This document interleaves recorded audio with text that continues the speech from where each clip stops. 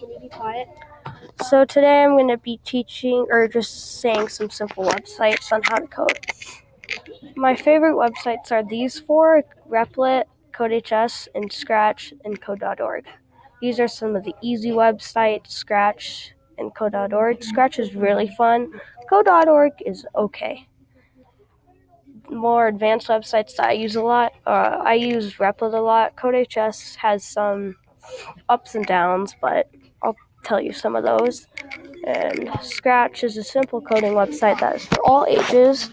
And in the other video, I'm going to teach you how to make a game in Scratch. Replit is a bit harder to code on than Scratch because it is not drag and drop. It is you write your own code. Um, CodeHS is the same as Replit, but it, you can do easy stuff or hard stuff. Code.org is like Scratch, but you can do Minecraft or a dancing game and some other stuff. And please like and subscribe. And thank you for watching. It has been really fun.